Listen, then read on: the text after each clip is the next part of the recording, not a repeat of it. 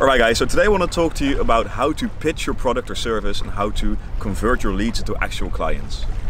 Now if you're going to start a business, and especially if it's your first business you're ever going to start, you're going to feel pressure. You're going to feel like, you know, I have to land my first client really fast. And you're also going to feel pressure from people around you. You know, they're, they're going to look at you, you're going to start your own business. Actually, because we are sort of nervous, we feel like we really have to land our first client, we're probably going to screw up and lose a lot of high potential clients. We're probably going to notice that it's actually going to take us much longer than actually needed to get that first client.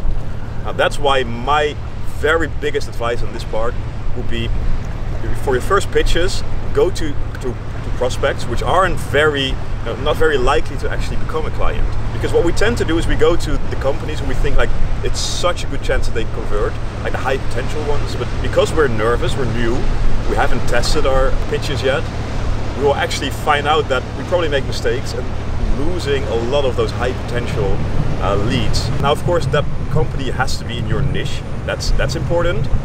Um, but you know, just for the first one, two, five, ten, however many you think you need, start with those who just aren't. You know, if, if they don't say yes, it's not a big problem. Now, and if they say no, and, and they will say no, of course, no one is going to get a 100% convert rate. Um, don't be afraid to actually ask feedback. Like, why didn't you say no?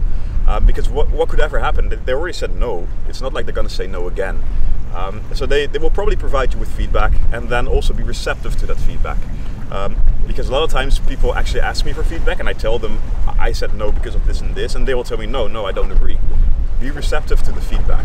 Gotten some practice and you feel actually comfortable, then it's time to actually go and pitch to the leads that you think are high potential. And then we get into the pitch itself. Now, the number one thing in a pitch is start with what it actually like the benefit for me. If you're pitching to me, what is in it for me? Is it going to save me time? Is it going to save me money? Let me know because I'm not going to re remember your whole 20 minute pitch. There's one thing that has to stick, and that's what you're going to start with. Like it, it's called the hook. You know, you're going to have to get, catch my interest really fast because as a business owner, um, and I talk out of experience, I'm probably going to get a lot of pitches, uh, people trying to sell me things, and if you can't really make it clear to me really fast, like what what's the benefit for me, what's in it for me, there's a good chance I'm not going to do it. Now, you're also going to have to uh, provide a lot of value in the in the conversation. For example, I own a web development company. If I go to a, a, a company um, who wants a new website or a new portal done, I will give them tips on their current website. They could use those tips and go to their current uh, web developer and, and you know improve it. That's a risk I'm willing to take because I'm showing that I'm going to provide them a lot of value and, and that value is for free. Now, something that's going to help you a lot, a lot of actually converting your leads into actual sales. And this is pretty difficult. Uh, that's learning to to see to who you're pitching. Now, I'm always saying in general there are four types of people. I, I know that's that's of course a bit easy to say, but I could be talking to somebody who um, is looking for the cheapest option out there. I could be talking to the guy who it, it doesn't really matter how much it costs. He just wants the best, uh, the best there is. And you know, if that costs a lot of money, so be it. I might be talking to someone who's not looking for the cheapest nor the most expensive, but best value of, of money. Or number four, which is um, a bit of a combination at times as well. Somebody who's looking for the most environmental friendly option. These days, that's such a hot item. Um, and now, what I mean to say with that, say I'm sitting across somebody who has a, a 300 euro pen he's riding with. He has um, an expensive suit. He has a maybe he has a Rolex.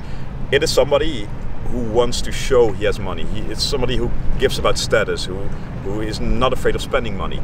If I see that, I will pitch like, listen, my company isn't you know, it's not the cheapest. If you're looking for the cheapest, don't come to me. But if you go to me, you know you will get the best service. You will get the best out there. I will, I will change my pitch. Now, if I see somebody's wearing, you know, the, the cheapest clothes out there, um, the cheap pen, I will change my pitch. I will. I mean, I, I can't say we're the cheapest because we're not, but I'll tell them, listen, if you use us, you will save so much money on this, this, and this, and then I will, I will really focus my pitch on that. Um, so that's basically what you're going to have to try and learn to see um, and if you master that, if you're, you know, within like five or ten seconds, you see, I am talking to somebody who finds status important, who wants the best deal, or he, he comes in a Prius, so he probably thinks environment is, uh, is important. And you have sort of four pitches ready, that will actually really help you convert. Um, so that's basically what I wanted to say about getting your leads into clients. I hope there was of some value of you. If it was, you know, please leave me a like uh, and go follow me. I will be posting videos every Sunday.